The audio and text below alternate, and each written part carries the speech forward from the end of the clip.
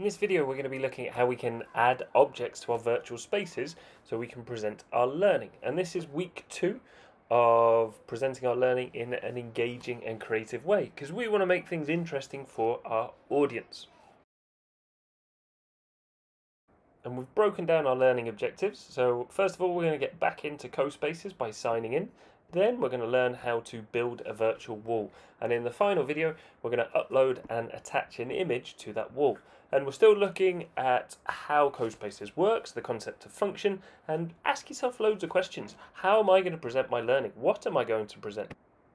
Here's how to get back in. No codes necessary this week. Type in CoSpaces, click login, and sign in with Google.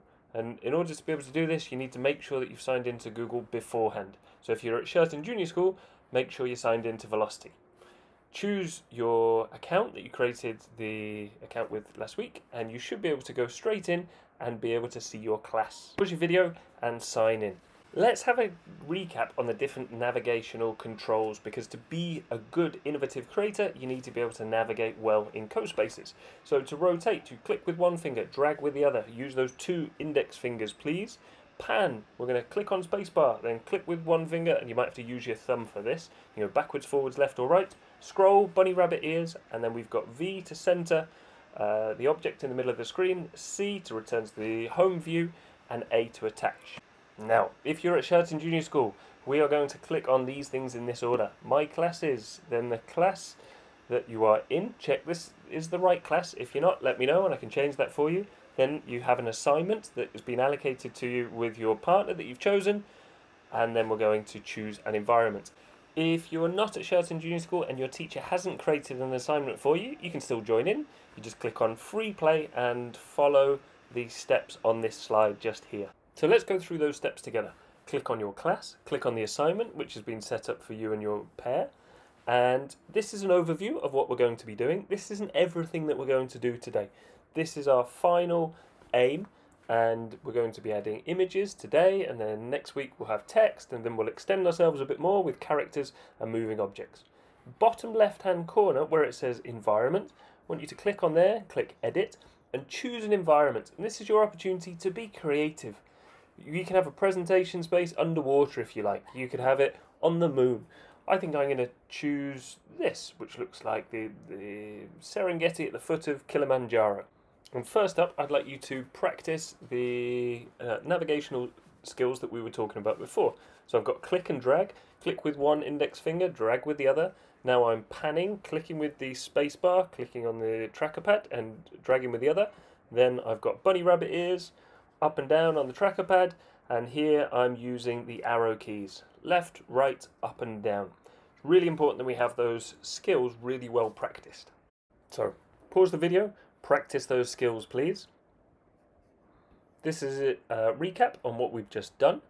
Now we're going to add some objects. And we are going to um, click on the bottom left hand corner. We're going to select building. And we're going to choose a wall. And this is where we are going to attach our image later on.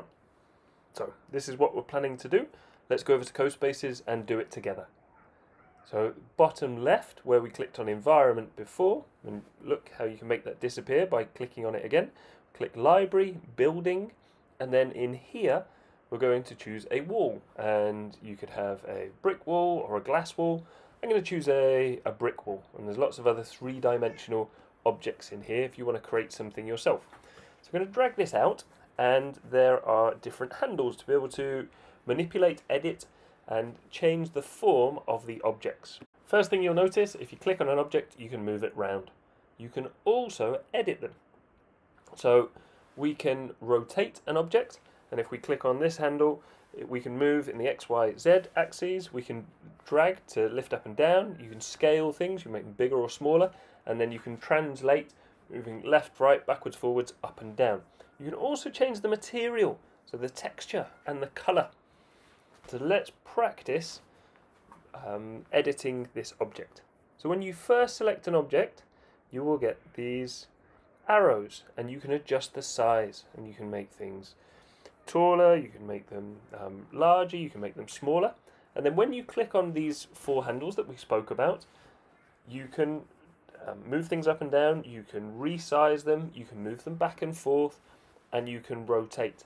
When you click on rotate, so you can play around rotating on those three axes, and you'll notice that it moves in jumps. It's 22.5 degrees each time.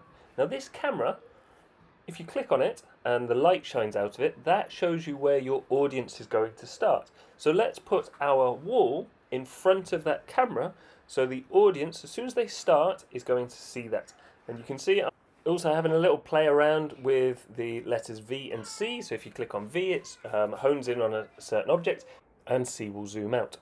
Now, I'm going to talk to you about contrast and making things stand out because when we choose the colour of our wall where we're going to display our learning, we need to think about the contrast. So what do you think? Do you think light stands out better on light and dark stands out better on dark? Or does it work better the other way around? So having dark text on a light background and vice versa. Consider this when you're choosing the colour of your display wall. So if you've got something which was done on a light background, choose a dark wall and vice versa. And I know that my piece of learning, um, which is going to be a collage, and it will be a collage for all of year four, um, will probably stand out better on a light background. So I've chosen this, I've changed the texture. Lots of museums have light coloured walls. For example, the Guggenheim in Bilbao, it's almost all cement, and it means that the artwork that stands out on the wall is um, really visible and really obvious. You've noticed here I've just made another one. So did a shortcut, Control C, Control V, or Command C, Command V if you're on an Apple. And with a few walls, if you do that a few times, you can start creating your own display building.